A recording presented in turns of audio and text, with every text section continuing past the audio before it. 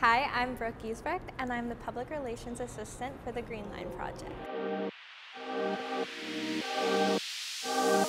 In my role as a public relations assistant, I work with local businesses along the alignment and work featuring different members of our team and people that will be building the alignment. Um, I've been working for the Green Line Project since May 2022. I started in the summer student program with two other students and we worked on community events, community engagement, working with local businesses on business features, which you've seen on our website. My favorite part of my role is working with the local businesses. I love going and engaging with the owners and hearing their concerns about the project, how the process has been, how has it been working with um, the business support team. I think it's super important to recognize uh, the struggles that local businesses will face during construction. I know it can be a really hard time and I think local businesses are super important for the economic development of the city and as the city grows and the more local businesses we see, I think it's super important that we focus on supporting them and I think that these business features really gives me the opportunity to go and hear these businesses stories and relay those messages back to my team and how the business support program can help and they just have so much to offer to to the city and I think it's what really sets us apart.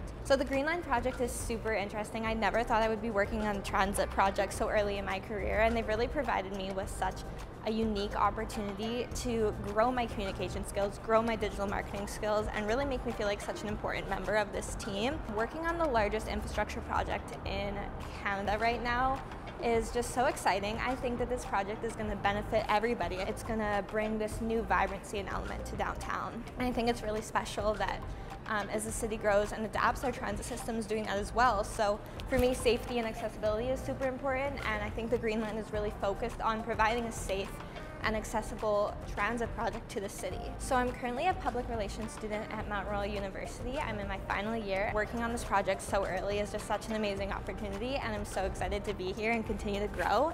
I think the summer student program really taught me how to engage with different communities. It taught me how to engage with businesses and how to communicate properly.